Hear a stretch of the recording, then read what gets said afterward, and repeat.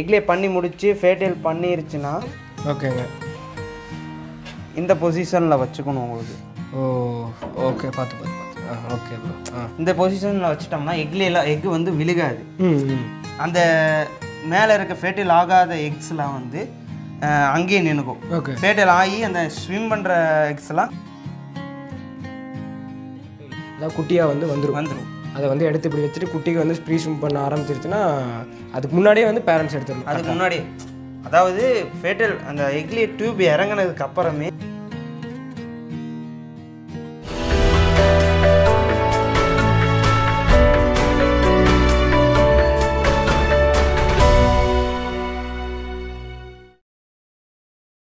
Okay bro இப்போ பார்த்தீங்கன்னா நம்ம ஷாஜா கோட்டிக்ஸில் வந்து ஃபஸ்ட்டு வந்து என்னென்ன ஃபிஷஸ் இருக்குது ப்ரைஸ் ரேஞ்சு அதெல்லாம் பார்த்தோம். அப்புறம் ரெண்டாவது வந்து ஒரு மீன் வாங்கினா வீட்டில் எப்படி மெயின்டைன் பண்ணணும் இந்த மாதிரிலாம் வைக்கணும் ரொம்ப தெளிவாக சொன்னாங்க அண்ணா. அடுத்து வந்து இது இப்போ நீங்கள் ப்ரீடிங்கும் பண்ணுறீங்கன்னு சொன்னீங்க. ஸோ அதை பற்றி எங்களுக்கு கொஞ்சம் பேசிக்காக எக்ஸ்பிளைன் பண்ணுறீங்களா எப்படி பண்ணணும் பொறுத்த வரைக்கும் இப்போ வந்து ஒரு மேல் வாங்கிட்டு போகிறீங்கன்னா நல்லா மெயின்டைன் பண்ணி நல்லா ஹெல்த்தியாக ஃபுட்டு போட்டு வச்சுருந்தீங்கன்னா ஒரு எயிட் மந்த்ஸ் நைன் மந்த்ஸ் அந்த ரேஞ்சில் வந்து உங்களுக்கு ப்ரீடிங் ஸ்டார்ட் பண்ணிடலாம். சரி சரிங்க. ஃபீமேலை பொறுத்த வரைக்கும் அது வந்து ஒரு த்ரீ மந்த்ஸு ஃபோர் மந்த்ஸு அதுக்குள்ளேயே உங்களுக்கு வந்து எக்லே பண்ணும். ஓகேங்க. நல்லா ஃபீமேல ஃபீமேல்ஸாக இருந்துச்சுன்னா த்ரீ மந்த்ஸ் ஃபோர் மந்த்ஸ் அந்த ரேஞ்சுக்குள்ளேயே உங்களுக்கு எக்லே பண்ணிடும் ஓகேங்க. அப்புறம் ரெகுலராக ஒரு ஃபிஃப்டீன் டேஸு ஒன் மந்த்து அந்த ரேஞ்சில் வந்து ஃபீமேல்ஸ் வந்து எக்லே பண்ணிகிட்டே இருக்கும். மேல் விட்டிருந்தாலுமே விடலைனாலுமே உங்களுக்கு வந்து Eglay பண்ணிட்டே தான் இருக்கும். தேர்ட்டி டேஸ் ஒன்ஸ் பண்ணிட்டு தான் இருக்கும். அப்போ பார்த்தீங்கன்னா உங்களுக்கு வந்து மேல் வந்து நைன் மந்த்ஸ் அந்த ரேஞ்சு வந்துச்சுன்னா நம்ம ப்ரீடிங் ஸ்டார்ட் பண்ணிக்கலாம். ஒன்றும் பிரச்சனை இல்லை. சரி சரிங்க. இப்போ மேல் வந்து நைன் மந்த்ஸ் ஆகணும் ஃபீமேல் வந்து ஒரு ஃபைவ் சிக்ஸ் மந்த்ஸ் இருந்தால் ஓகேங்களா ஆமாங்க. அதுக்கப்புறம் வந்து நம்ம என்ன பண்ணுவோங்க? இப்போ மீன் எப்படி செய்ய இது பண்ணணும்? அதுக்கப்புறம் வந்து பார்த்தீங்கன்னா உங்களுக்கு வந்து எக்லே பிளேட் இந்த மாதிரி எக்லே பிளேட் இருக்கும். ஓகேங்க. கடையில் வந்து விற்கிது அந்த மாதிரி பிளேட்டு வச்சுக்கலாம். நார்மலாக வச்சிங்கன்னா உங்களுக்கு டஸ்ட்டு கீழே இருக்கும் அந்த மாதிரி இது. இதை வச்சிங்கன்னா உங்களுக்கு வந்து ஃபீமேல் வந்து கொஞ்சம் கம்ஃபர்டபுளாக ஃபீல் ஆகியும். அதில் மட்டும் க்ளீன் பண்ணி இது பண்ணிட்டு ஓகேங்க. உங்களுக்கு வந்து ஃபீமேல் வந்து ஃபஸ்ட்டு எக்லே பண்ண ஆரம்பிக்கும். ஆரம்பிக்கிறதுக்கு முன்னாடி அந்த சிம்டம்ஸ்லாம் இருக்கும். அந்த டியூப் டவுன் பண்ணுறது வெண்ட்டில் வெண்ட்ல டியூப் டவுன் டவுன் பண்ணுறது அந்த இதெல்லாம் லைட்டாக இறங்குற மாதிரி இருக்கும். அப்போ பண்ணும்போது நீங்கள் வந்து மேல் வந்து அதுக்கு முன்னாடியே ஒரு டுவெண்ட்டி டேஸ்க்கு முன்னாடியே.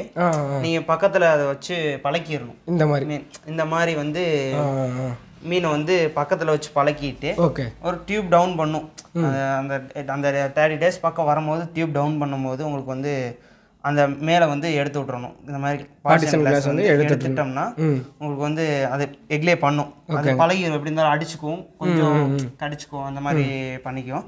அப்படி இருந்தாலும் ஒரு தேர்ட்டி மினிட்ஸு ஒரு ஒன் ஹவரில் அது பழகிடும் அது அதுக்கு சரி சரி சரிங்க. எக்லே பண்ணுச்சுன்னா அதில் போய் மெயில் வந்து ஃபேட்டல் பண்ணுச்சுன்னா உங்களுக்கு வந்து டூ to த்ரீ டேஸ் அதுலேயே தெரிஞ்சிடும் ஓ ஃபேர்ட்டில் ஆயிருக்கா ஃபேட்டல் ஆயிருக்கா என்னன்னு? டாட் டாட் செல்ஃபின் அந்த டாட் மார்க்லாம் வரும். அந்த எக்லேயில் வந்து டாட் மார்க்கு ஸ்விம் பண்ணுற மாதிரிலாம் இருக்கும். உங்களுக்கு ஃபோக்கஸ் பண்ணி பார்த்தீங்கன்னா அது தெரியும். ஓகே ஓகேங்க ரொம்ப நல்லா பக்கத்தில் நல்லாவே தெரியும் உங்களுக்கு அந்த எக்லே பிளேட் வந்து இப்போ இந்த ஸ்டேஜில் இருக்குன்னா ஓகே இது வந்து அப்புறம் லாஸ்ட்டாக வந்து வந்து எக்லே பண்ணி முடிச்சு ஃபேட்டல் பண்ணிருச்சுன்னா ஓகேங்க இந்த பொசிஷனில் வச்சுக்கணும் உங்களுக்கு.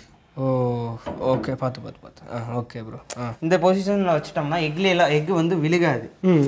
அந்த மேலே இருக்க ஃபேட்டல் ஆகாத எக்ஸ்லாம் வந்து அங்கேயே நின்றுக்கும் ஓகே ஃபேட்டல் ஆகி அந்த ஸ்விம் பண்ணுற எக்ஸ்லாம் கீழே போயிடும்.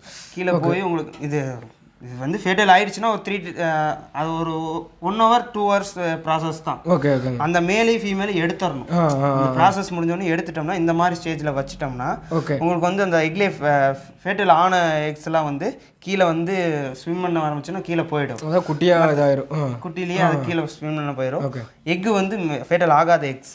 அந்த ஒயிட் ஒயிட் கலர் எக்ஸ் வந்து அங்கேயே தங்கிக்கும். அதிலே அதை ஒட்டிட்டு. இருக்கும். அதை எடுத்துடணும் அந்த பிளேட்டை அந்த பிளேட்டை எடுத்துட்டோம்னா அது ஸ்விம் பண்ணிட்டு இருக்கும். அது நார்மலாக ஃபுட்டு யூஸ் பண்ணி இது பண்ணிக்கலாம்.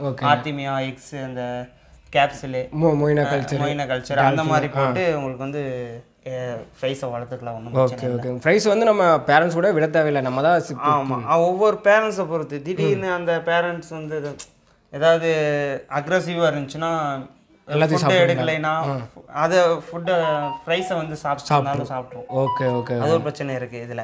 அதனால தான் அந்த ஃபீமேலையும் மேலேயும் எடுக்கிறது காரணம்.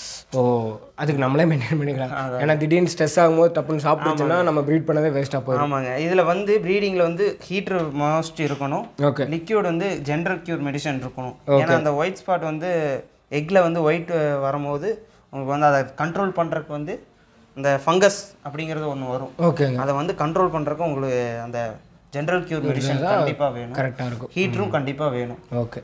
அப்போ வந்து ஒரு த்ரீ ஃபீட் டேங்க் வச்சுட்டிங்கன்னா ஹீட்ரு அப்புறம் ஜென்ரல் கியூர் போட்டுட்டு அதுக்கு முன்னாடி டுவெண்ட்டி டேஸ்க்கு முன்னாடி ரெண்டு பார்ட்டிஷன் போட்டு பழக்கம் கலக்க வச்சிடலாம் ஓகே இதுலேருந்து அப்புறம் அவங்க சொன்ன ஃப்ளோ தான். குட்டியை முட்டை வைக்கும் அது வந்து முன்னே நாளில் வந்து ஃபர்டைல் அதாவது குட்டியாக வந்து வந்துடும் வந்துடும் அதை வந்து எடுத்து இப்படி வச்சுட்டு குட்டிக்கு வந்து ப்ரீ ஸ்விம் பண்ண ஆரம்பிச்சிருச்சுன்னா அதுக்கு முன்னாடியே வந்து பேரண்ட்ஸ் எடுத்துடணும். அதுக்கு முன்னாடி அதாவது ஃபேட்டல் அந்த எக்லி டியூப் இறங்குனதுக்கு அப்புறமே அந்த ரெண்டையும் பிரித்து விட்டீங்கன்னா அது எக்லியை பண்ணி முடிச்சு ஒரு ஒன் டே வச்சுக்கலாம் ஒன் டுவெல் ஹவர்ஸ் வச்சுக்கலாம் வச்சுட்டு அந்த ஃபீமேலையும் மேலேயும் எடுத்துக்கலாம் அதுக்கு எக்லி பண்ணதுக்கப்புறம் ரெண்டையும் ஒன்றா வச்சுட்டு எடுத்துடலாம். ஆனால் ப்ரைஸ் எல்லாம் ரொம்ப சின்ன சைஸாக தான் இருக்கும் ஆமாங்க ஆமாங்க.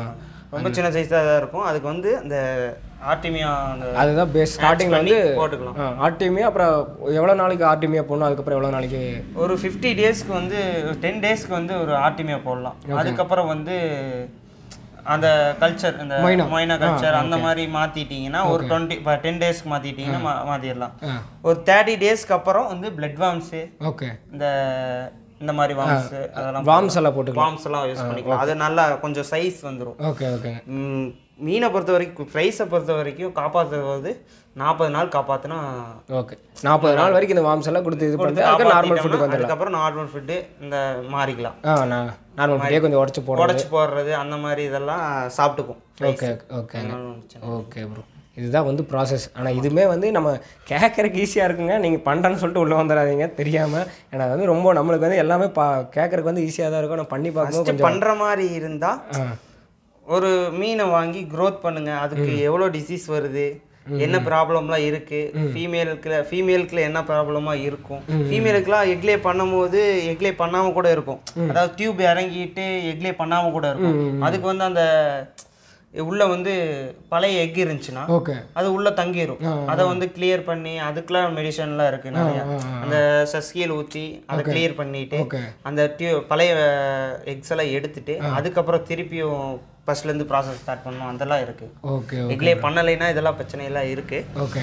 அதை ஃபஸ்ட்டு வாங்கி நம்ம க்ரோத் பண்ணி அதை மெயின்டைன் பண்ணி இதை பற்றி தெரிஞ்சுக்கிட்டு அதுக்கப்புறம் பண்ணலாம். ஓகே ஓகே ப்ரோ அப்போ நம்ம எல்லாமே வந்து நம்ம ஸ்டார்டிங்லேருந்து போங்க குட்டி வாங்கி வளர்த்துங்க பெருசு பண்ணுங்கள் ஒரு ஒன் இயர் இதுலேயே அப்படியே ஒரு ஊர் ஊறிட்டுருங்க.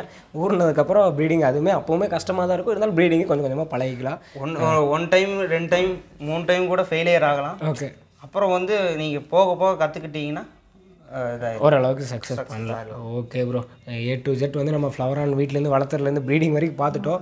உங்களுக்கு ஓரளவுக்கு அண்டர்ஸ்டாண்டிங்காக இருக்கும்னு நினைக்கிறேன். இதுக்கு மேலேயும் வந்து ஏதாவது டவுட்ஸ் இருந்தால் அவங்க கால் பண்ணி கேட்டு உங்கள் நம்பர் வந்து நான் கொடுத்துட்றேன் ப்ரோ கால் பண்ணி கேட்டு வந்து நீங்கள் டீட்டெயில்ஸ் கேட்டுக்கோங்க. அதே மாதிரி ஃபிஷ்ஷஸ் வந்து இங்கே சேல்ஸ் இருக்குது ஃபிஃப்டி ஃபிஃப்டி ருபீஸ்லேருந்து வச்சுக்கலாம். ஏன்னா பல்காக எடுத்தால் தான் அந்த தேர்ட்டி ஃபைவ் ரேஞ்செல்லாம் ஃபிஃப்டி டூ நீங்கள் எவ்வளோ அதுக்கு மேலே வந்து ஒரு ஒரு ரேஞ்சுக்கு வந்து ஒரு ப்ரைஸ் இருக்குது அது நம்ம வீடியோவில் சொல்லியிருக்கோம். அதையே பார்த்து செக் பண்ணி வாங்கிக்கோங்க. ரொம்ப ரொம்ப தேங்க்ஸ் ப்ரோ நன்றி ப்ரோ இவ்வளோ கிளியராக எக்ஸ்பிளைன் பண்ண ஓகே